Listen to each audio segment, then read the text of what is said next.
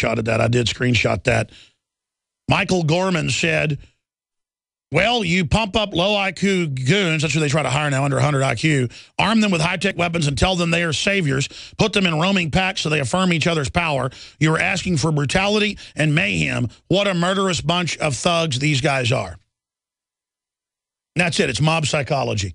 Let's go ahead and go to this special report because remember, this is what the globalists have put in across the country under the threat fusion centers and the training while they prepare to stage the false flag to totally take over.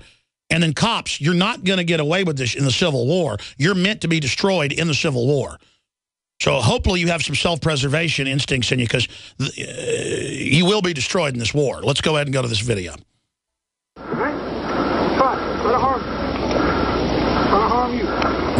Man behind Boulder. Walks out. They detonate flashbang. Release dog to begin biting him in the genitals. Get on the ground! James M. Boyd is dead. His crime?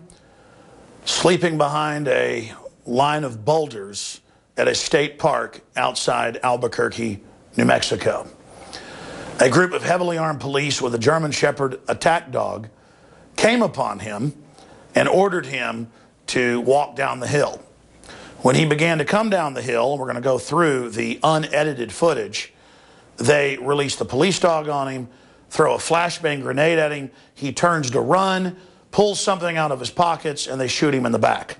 Get on the ground! Get on the ground! Get on the ground now! Get on the ground! Get on the ground! Don't make noise! Now, we paused the video there where the suspect, James Boyd, appears to be turning away from officers. And now, that's all the public has seen up until that point. The mainstream media stops the video right there when they pull the trigger and shoot him in the back. What comes next is the true horror. They allow the dog to chew and continue to bite on him. They step on his arms. They shoot him more with the beanbag guns, and it looks like they shoot him with a real firearm at least one more time. They then handcuff his dead body and hyperventilate, acting like they're scared of him, and so it's okay what they've done. When you look at this in context, it's bad enough. But when you see all the other things they've done in Albuquerque, New Mexico, and gotten away with, like pepper spraying a woman's genitalia to, quote, punish her, or giving a man eight anal probes and enemas looking for illegal drugs they never found from a routine traffic stop. You realize what a dangerous place Albuquerque is to visit. And then you find out there is a long train of very suspicious cases of police killing people and calling it suicide in Albuquerque and the surrounding counties. You realize this is another one of these boss hog kingdoms where the police know they're above the law. Watching the footage is extremely disturbing, and we're going to play it all unedited from end to end for you right now. This was shot from a gun camera that one of the police officers has. And when you see this man talking to them calmly, and seconds later he's dead, you realize how dangerous this militarization of police has become. The New York Times, the Wall Street Journal, they've all reported now on what I began warning you about 19 years ago the federalization and the militarization of police under the RAND Corporation National Stability Police Force Plan, which is designed to turn our country into a martial law system. If you were down at a bar or a, a bus stop, I have the right to kill you right now because you're trying to take me over. Don't get stupid with me. We're not going to get stupid. You said we were walking out of here, now you're, you're bringing up assault and everybody's going to get hurt again? All right, don't change up your agreement. I'm going to try to walk with you. All right. Love folks. I'll try to harm you. Keep your word. I can keep you safe. All right? Don't worry about safety. I'm not a fucking murderer. All right? Try. Try to harm you. Try to harm you. All right? Do it. Get on the ground! Get on the ground! Get on the ground now! Get on the ground! Get on the ground! Don't make noise! Put up! Move it up! Move moving up. Still got the knives in his hand. Still got the knives in his hand. Still got his knives in his hand. Step it up behind you. Now they release the dog on the guy who's shot in the back, He's not moving. Still armed. Get your hands out. Get Drop your the knife. up. Hear him say, I can't move. He's paralyzed.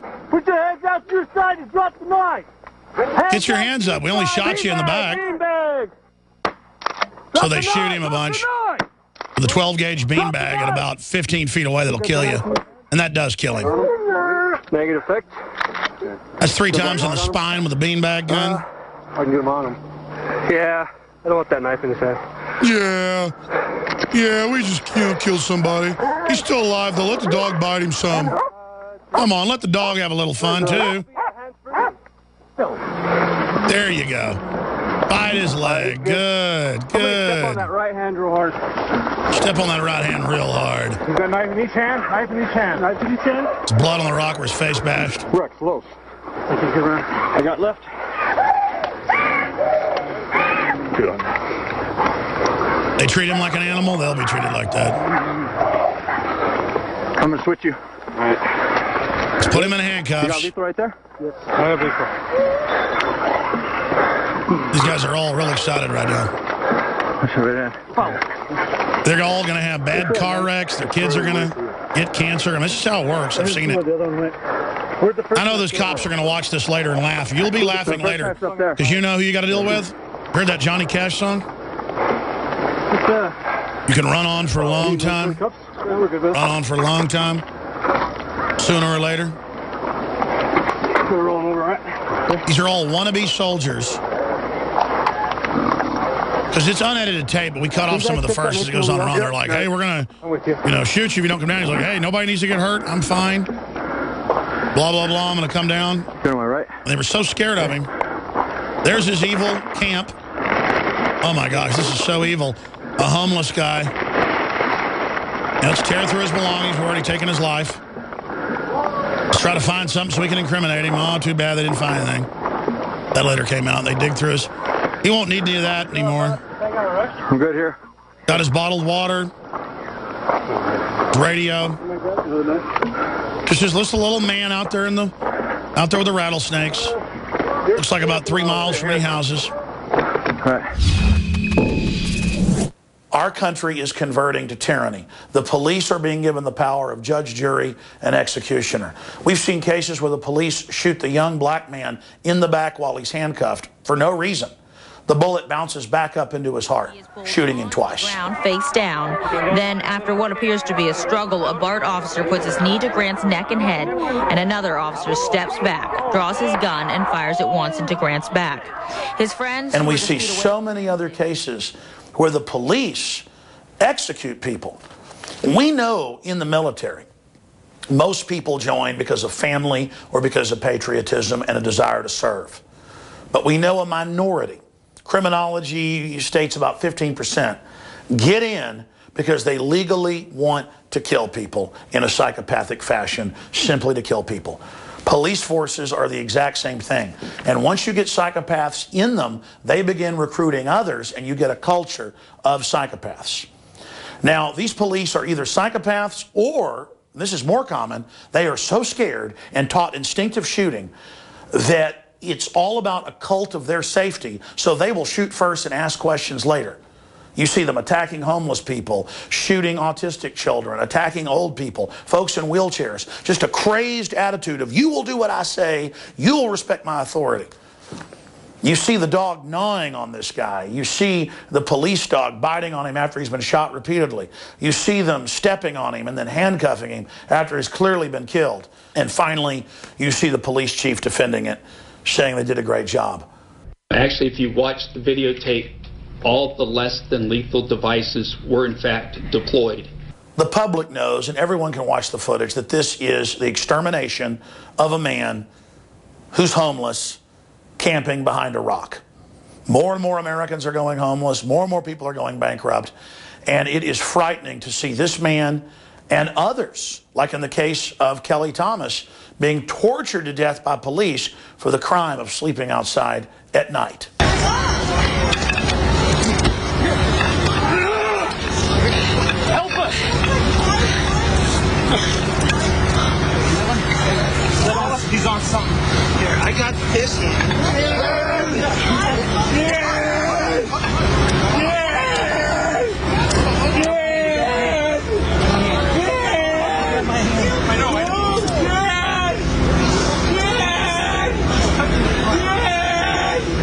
Even the most ignorant of the American people know that we're becoming an authoritarian police state, that the checks and balances are being removed. We all know North Korea is a horrible authoritarian dictatorship based on a police state. We know Mexico is. We know Nigeria is. We know Saudi Arabia is. But our government won't even criticize those regimes anymore, like Saudi Arabia. Because tyranny is now the policy worldwide. Europe's converting to tyranny. England's converting to it. We're converting to it. It's happening all over the world. And it is the most dangerous threat to humanity. Governments killed 262 million people in the 20th century. The number one cause of death is government. Our founders said that it is the number one danger. George Washington said government is like fire, a dangerous servant, a fearful master. It's time to rediscover that common sense and to get the police and the government and the system and the bureaucrats back under control. The only reason the police are being given this much power and allowed to get away with what I believe is clearly cold-blooded execution is because the power structure wants to have this paramilitary force in place to oppress the people. And that's on record. The drones, the NSA, the taser drones, the citizen spies. This is not what a free society is about. Liberty brings prosperity. Tyranny is going to bring bondage and poverty. It's not too late to start valuing human life again. It's not too late to say no to the New World Order. It's not too late to rediscover the Renaissance, the Magna Carta, the Bill of Rights, the Constitution, and Western civilization. I'm Alex Jones signing off for Infowars.com, PrisonPlanet.com, and Infowars Nightly News. Back to David Knight. And that is from the Nightly News last night, 7 o'clock weeknights, and we are only able to bring you this hardcore, beyond cutting edge, battering ram of liberty information because of all your support over the years. And I appreciate your prayers. I appreciate uh, your support. And I appreciate the good police FBI, federal marshals, state police, local police around the country that have given us so much accurate intel. In fact, it's almost everything I've ever been given by our sources has turned out to be real, been accurate. There's not even that many bad people in the system. It's that the bad is generally close to the top and is allowed to operate with impunity because all the good men do nothing. All the good women do nothing, as our founder said. So we need to change this this hunter killer seek and destroy policy of if some guy turns to run away, you shoot him and kill him, and then let a police dog bite him, and then and then and then get off on it because these guys played too much Call of Duty. Before I end this hour, speaking of supporting the broadcast, you can get 11 memberships for $5.95 a month and share them for to see the nightly news. We just charge that to pay for the bandwidth and the cameras and the reporters and things. Your YourPrisonPlanet.tv memberships are so essential to our operation. If you have a membership, share your membership. If you don't, takes about a minute to sign up, PrisonPlanet.tv. And don't forget InfoWarsLife.com, InfoWarsLife.com, where you can find the Survival Shield, Nascent Iodine Proprietary, the Fluoride Shield uh, detoxifier that doesn't just take out the fluoride, but a lot of heavy metals and things. Uh, the new Super Silver Bullet, colloidal silver we developed, the strongest out there, folks. Go check out the write-up on it. And it's not for regular use, by the way. It's pretty much emergency use. Consult your physician. Everything we bring out is super high-powered. InfoWarsLife.com. Stay with us. Second hour coming up. Thank you for listening. Greg Palast and more. Visit GCNlive.com today.